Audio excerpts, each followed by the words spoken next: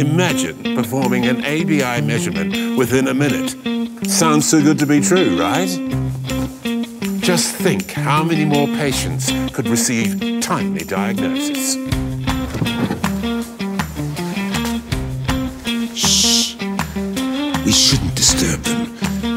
They need to concentrate.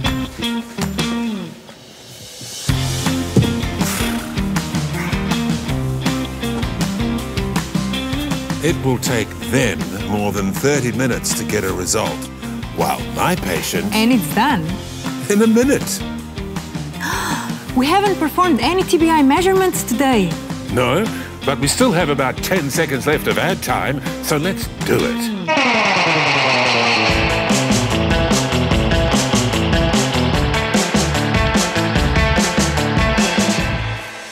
ABI and TBI measurements for a complete arterial assessment, while still giving you time for other emergencies.